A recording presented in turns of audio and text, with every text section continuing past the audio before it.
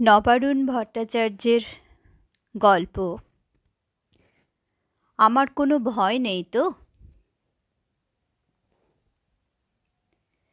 বীরেন ছিল এমন একটা মানুষ যার সঙ্গে রোজ দেখা অনেকেরই হয়, কিন্তু দেখাটা ফুরিয়ে যাওয়ার পরে তার সম্বন্ধে একটা কথাও কারও মনে থাকে না। হয়তো সব পাড়া, সব মহল্লাতেই বীরেন না হলেও অন্তত তার কাছাকাছি রাখা যেতে পারে এরকম অনেক মানুষ রয়েছে। বীরেনকে আজ অনেকেরই মনে নেই। সেটা আমি যাচাই করেও দেখেছি। বিভিন্ন জায়গায় গলি ঘুঁজি বা রাস্তায়, ঘরে বা এসটিডি বুথে, ক্লাবে, বাজারে পান সিগারেটের দোকানে টুকরো এক একটা কথা অচল পয়সা চালানোর মতো গড়িয়ে দিয়ে দেখেছি, কেউ কথার খেইটা ধরে চলতে শুরু করে না যে অজান্তেই একসময় বীরেন এসে পড়বে, তার নোংরা শার্ট, খোঁচা খোঁচা দাড়ি, এক গাদা চুল, ফ্যাকাশে বড় বড় চোখ, তোবড়ানো গাল আর সেফটি পিন দিয়ে আটকানো হাওয়ায় চটি পড়ে আর এসেই যা সে সবসময় করতো এমন একটা কিছু বলবে যা একেবারে সেন্ট পারসেন্ট ভাট। তবে সব সময়ে যে বীরেন ভাটাতো এমন নয়। ফাঁসির সময়ে ফাঁসি, ক্রিকেটের সময়ে ক্রিকেট, ভোটের সময়ে ভোট, এগুলোও সে বলতো। আর বীরেন যার সঙ্গে কথা বলতো, তার কাঁধ বাঁ দিয়ে খিমচে খিমচে কথা বলতো। প্রায়ই এরকম হতো যে বীরেন যার সঙ্গে কথা বলতে শুরু করেছে, সে হয়তো ওকে কাটাবার ধান্দায় কোনো একটা কাজ দেখিয়ে হাঁটতে শুরু করেছে, বীরেনও তার সঙ্গে সঙ্গে চলতে থাকবে। এই এত কথা বলার কারণ একটাই, কাল একটা ব্যাপার আমি লক্ষ্য করেছি। আমাদের পাড়ায় নতুন একটা বেশ বড় মিষ্টির দোকান হয়েছে। দামি দামি আর ভালো ভালো মিষ্টি বেচে। এমন সব মিষ্টি যার নামও আমরা জানি না। সে যাই হোক, সেই দোকানটায় ওরা একটা আলোর কল বসিয়েছে, যার গায়ে লেখা আছে, ইনসেক্ট ফ্ল্যাশার। হেভি পাওয়ারের দুটো টিউব জলে একটু নীলচে। ওই নীলচে আলোর টানে মাছি বা ওই টাইপের নানা পোকা দু একটা প্রজাপতিও আমি দেখেছি কাছে চলে যায়। তারপর ওই গরম আলোয় ছটফট করতে করতে মরে যায় বা চিড়িক করে একটা শব্দ করে ফেটে যায়। ওই আলোর কলটা দেখতে দেখতে হঠাৎ মনে হলো বীরেন মরে গেছে আর তার কথা লোকে ভুলে যেতেও শুরু করেছে।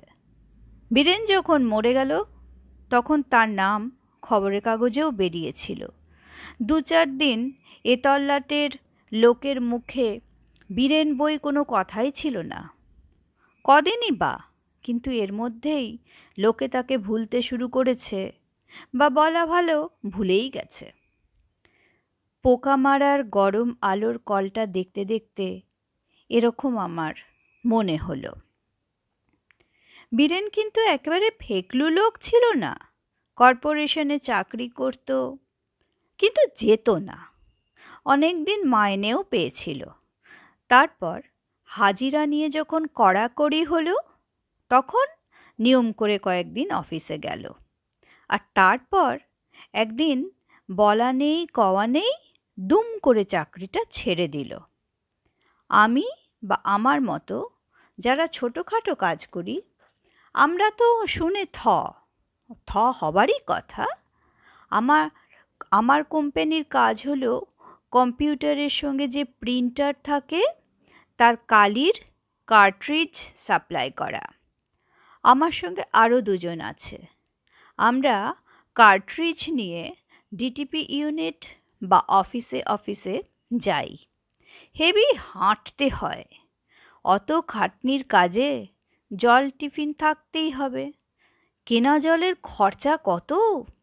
তাই চেনা অফিসে জলের বোতলটা ভরে নেই। এক ফাঁকে ছায়ায় দাঁড়িয়ে রুটি তরকারি খেয়ে নিই। কোনো কোনো দিন বাড়ি থেকে দানাদার বা কয়েকটা বাতাসাও দিয়ে দেয়। গাছগুলো কেটে নিয়েছে। ছায়া কমে যাচ্ছে। বাসের ভাড়া বাঁচাই এরকম পোকা মারার আলোর কল যখন চারদিকে বসানো চলেছে, সেই বাজারে বীরেন চাকরিটা ছেড়ে দিল। অবশ্য ছাড়ার পরে সে বেশি দিন বাঁচেনি। বীরেনের বউ এখন ব্লাউজ সেলাই করে, শাড়ির ফলস লাগায়, পিকো করে। বীরেনের একটা ছেলে আছে, শুনেছিলাম মাধ্যমিক দেবে। আর ও হ্যাঁ বীরেনের মাও আছে। বীরেনকে নিয়েই যখন কথা, তখন তার ভাটানোর একটা স্যাম্পেল দিয়ে নিই এখানে।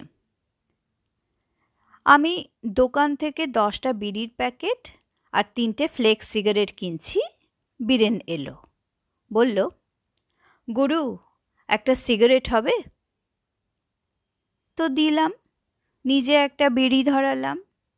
তারপর বীরেন বলতে থাকল, কাল ফোনে ধরেছিলাম বুঝলে, তা কথা বলছে কথা বলছে, হঠাৎ বলল, যা গাড়ি ঘোড়ার আওয়াজ, ও নাকি শুনতে পাচ্ছে না। আরে এতক্ষণ শুনলি, হু হাঁ করলি, হঠাৎ গাড়ির আওয়াজ এসে গেল।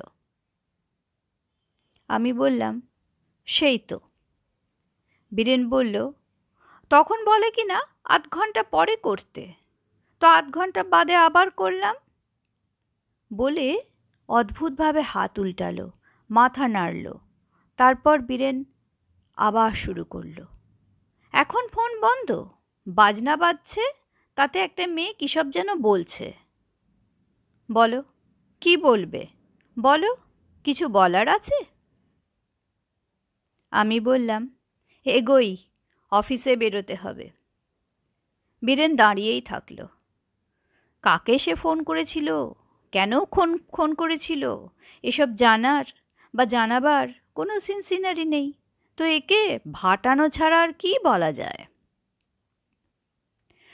তা সেবার হলো কি, কোনো এক সন্ধেবেলায় প্রমোটার হরিদত্তের অফিসে দুটো মোটর সাইকেলে করে তোলাবাজরা এসে বোম চার্জ করল। রিভলভার থেকে গুলিও চালিয়েছিল। হরিদত্তর কিছু হয়নি। কেউ কেউ বলল স্রেফ বোম চার্জ করেছে। গুলিফুলি বাজে কথা। কথাটা ঠিক নয়, কারণ হরিদত্তর অফিসের সামনে দিয়ে যাওয়ার সময় আমি আর চোখে সাইজ করেছিলাম যে এইচ দত্ত কনস্ট্রাকশন লেখা গ্লো সাইনের গায়ে দুটো ছোট ছোট এক মাপের ফুটো। অবশ্য এটাও জোর দিয়ে বলার কোনো মানে হয় না, কারণ বোমার ভিতরে যে বল বিয়ারিংয়ের গোল গোল দানাগুলো দেয়, সেগুলোর থেকেও কিন্তু ওরকম ছোট ছোট গর্ত হতেই পারে। শেখ বিনোদ এখন জেলে রয়েছে। যারা এসেছিল, তারা নাকি শেখ বিনোদেরই লোক। আর এই ঘটনার জের ধরেই খবরটা রটতে শুরু করল, একটা মার্ডার নাকি হবেই। কেউ ঠেকাতে পারবে না।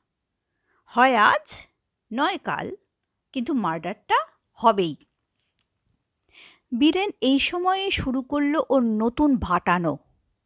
গোপালের দোকানে তিন চারজন হয়তো নিচু গলায় কথা বলছে। বীরেন তাদের কাছে গিয়ে দাঁড়াল। শার্ট ঝুলছে, খোঁচা দাড়ি, ঝোলা, গোঁফ যার নিচের দিকগুলো হলদেটে, ছোপ ধরা নোংরা বড় বড় দাঁত।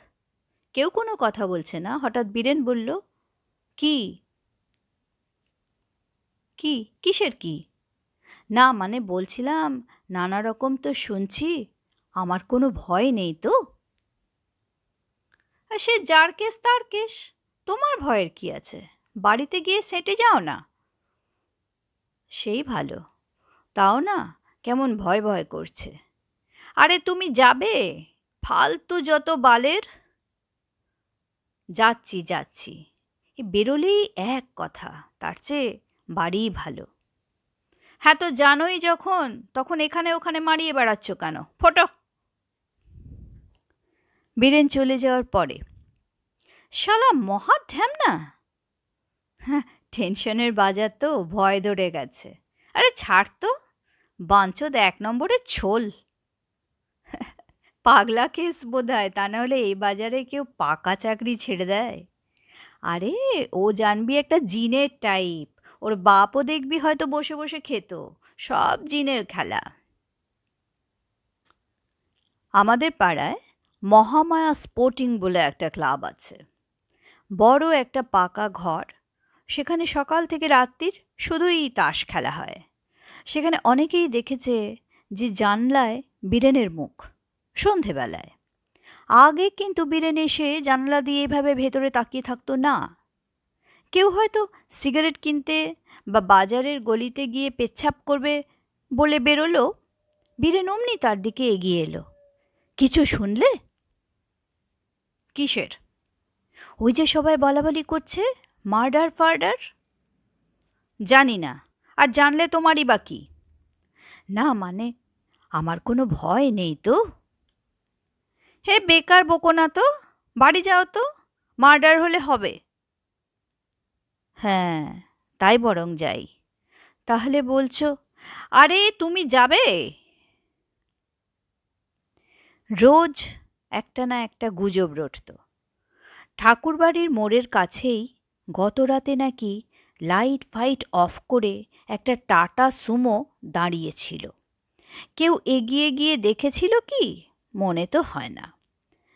গাড়িটা নাকি কুড়ি মিনিট মতো দাঁড়িয়েছিল কিন্তু ইঞ্জিন বন্ধ করেনি। ঘরের আলো নিভিয়ে জানালা দিয়ে কেউ কেউ দেখেছে আলো জ্বলা সেলফোনের আভায় কথা বলা মুন্ডু। যারা এসেছিল, রাত বেরাতে দাঁড়িয়ে দাঁড়িয়ে তেল পোড়ালো, তারা কাদের লোক? হরিদত্তের? হরির সঙ্গে পার্টির কিন্তু খুব খাতির। হরি আবার তৃণমূলকেও চাঁদা দেয়। কোনো খবর আছে জেনেই কি হরিদত্ত টাটা সুমো করে লোক আনিয়েছিল? আর লোক যদি আনাই, তারা কি খালি হাতে আসবে? হারগিস না? টাটা সুমোর মধ্যে মেশিন যে ছিলই, তাতে সন্দেহ নেই। এখন কথাটা হচ্ছে কটা মেশিন ছিল? যাই হোক, টাটা সুমোর খবরটা বুঝি দিল যে ওই অবধারিত মার্ডারের দিকেই কেসটা গড়াচ্ছে। পরে মানে ঘটনাটা ঘটার বেশ কয়েকদিন পরে আমাকে শ্যামল ডাক্তার কথায় কথায় বলেছিল যে বীরেন তার কাছেও গিয়েছিল। বীরেন প্রায়ই শ্যামল ডাক্তারের ওখানে গিয়ে ডাক্তার হয়তো রোগী দেখছে। বেমক্কা, পর্দা সরিয়ে মুন্ডুটা চেম্বারে ঢুকিয়ে বলতো, ডাক্তারবাবু, আপনি আছেন তো এখন? উত্তর পেত না। ঠিক আছে, আমি এই আধ ঘণ্টা টাকের মধ্যেই ঘুরে আসছি। কথা আছে আপনার সঙ্গে। ডাক্তার এবারেও কোনো জবাব দিত না। কারণ ডাক্তার জানতো যে বীরন এরকম প্রায় বলে এবং কখনোই আর ফিরে আসে না। শ্যামল ডাক্তার বলেছিল যে তখন নাকি কোনো রোগী ছিল না, বীরেন এসেছিল। বলেছিল, ডাক্তারবাবু, এই একটু জানতে এলুম, কানাঘুষ হয়ে কিছু কানে এসেছে। কি কানে এসেছে? এই কী সব শুনছি? সবাই বলা বলি করছে, বলছে এনি টাইম একটা মার্ডার নাকি হবেই। কই? তেমন কিছু তো আমার কানে আসেনি। তাহলে জেনে রাখুন ডাক্তারবাবু, হাওয়া খুব গোলমেলে মার্ডার একটা হতে চলেছে। এ আবার একটা কথা হলো, কাগজ খুললেই তো মার্ডার তাতে তোমারই বা কি, আমারই বা কি, হলে হবে? না, ডাক্তারবাবু, কেমন ভয় ভয় করছে, হাত ঘামছে। মানে বলুন না, আমার কোনো ভয় নেই তো? এই কথাগুলো শ্যামল ডাক্তার আমাকে পরে বলেছিল। বোধহয় ভেতরে অস্বস্তি ছিল বলেই। বীরেন যে যে মার্ডারটা হবে তার সঙ্গে নিজেকে জড়িয়ে নিজের ভয়ের ব্যাপারটা বলে বেড়াচ্ছে চতুর্দিকে সেটা অনেকেই জেনে ফেলেছিল। খবর এলো, কে নাকি বাস থেকে দেখেছে বীরেন থানা থেকে বেরিয়ে পাড়ার দিকে হাঁটছে। বীরেন নাকি পার্টি অফিসে ঢুকে এলসিএম কালিদাকে বলেছে, আমার কোনো ভয় নেই তো? কথাটা বলেছে আবার সাহা মেডিকেলের বিশুর সামনেও। বিশু, ছেলেটা ভালো। ও কেন বীরেনের নামে বলতে যাবে খামোখা? ভয় খেয়ে গেলে বা ভয় ধরে গেলে হয়তো যে কোনো লোকেরই বীরেনের মতন অবস্থা হতে পারে। বিশেষ করে সকলে যখন ধরেই নেয় যে মার্ডার একটা হবেই।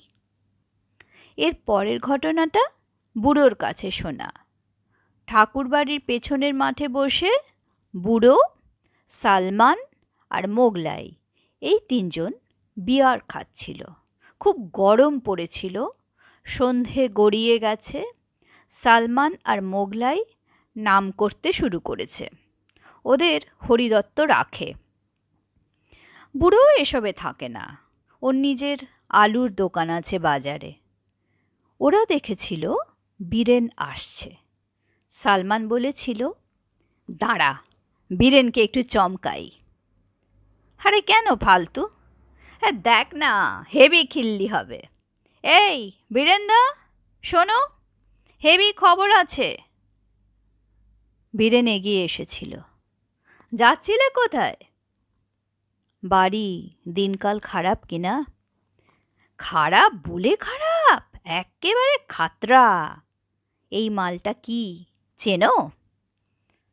ফস করে পকেট থেকে বের করেছিল। কালো, মরা পালিশ, চাইনিজ রিভলভার। বীরেন এক পা পিছিয়ে গিয়েছিল।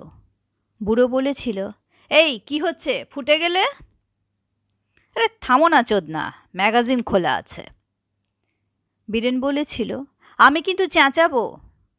লে, আরে, মালটা হাতে নিয়ে একবার দেখো না। কি করে ফায়ার করে জানো তো? ভেরি ইজি এই ধরলে, এই ট্রিগারটা টানো। ফায়ারিংয়ের শব্দ হয়েছিল। ঠা ঠা শব্দটা বীরেনকে চিড়ে মাঠের মধ্যে দিয়ে ছুটে গিয়েছিল।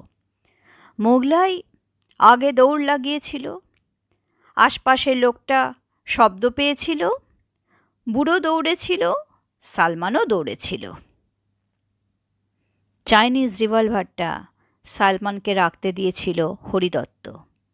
হরিদত্ত জানতো না সালমানও জানত না। ওই মডেলের রিভলভারের ম্যাগাজিন খুলে নিলেও একটা গুলি চেম্বারে থেকেই যায়। একাত্তর বাহাত্তরে এরকম বেশ কিছু রিভলভার কলকাতায় এসেছিল।